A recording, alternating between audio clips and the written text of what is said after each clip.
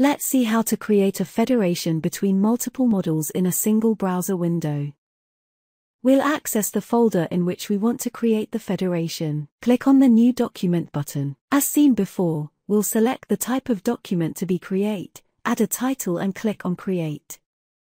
This operation will redirect us to this browsing tool where we can also load the models to federate.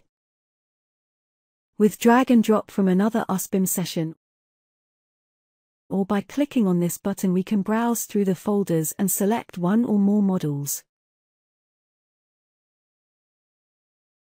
In this case we are federating the IFC models of MEP, structural and architectural of the same project, but the federation can also be configured between different file formats such as Edificius and Edilus files. From the left tab we have access to the model structure, with all the elements that can be selected sequentially or in block. In this case we have displaced the models to demonstrate how easy it is to move them in space in order to realign them correctly. This button brings up the axis adjustment box. From here we can enter a precise value on each of the three Cartesian axes, to define rotation and scaling factor. Alternatively, we can also use the object grip directly on the model. Once satisfied with these adjustments simply consolidate the model.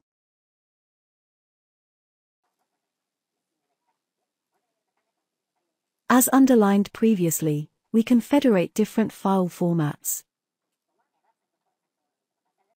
In this example we have federated an architectural model with a point cloud.